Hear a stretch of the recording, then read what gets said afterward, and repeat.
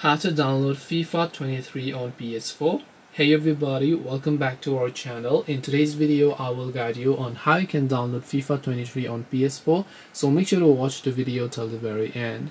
So if you would like to download FIFA 23 on PS4, all you have to do is go ahead and first of all, launch the PlayStation Store over here. Once you launch the PlayStation Store, what you want to do is just click on the search bar at the top of the screen once you click on the search bar at the top of the screen over here what you want to do you just go ahead and then type in the game called FIFA right?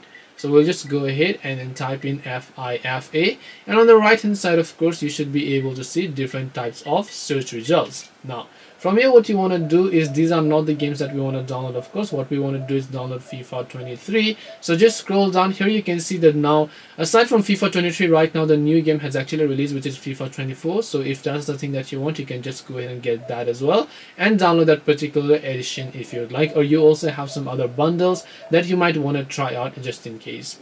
This way you should be able to download FIFA 23 on PS4 Hope this video was very helpful. If you have got any questions, feel free to leave them down. Thank you for watching and see you in the next video.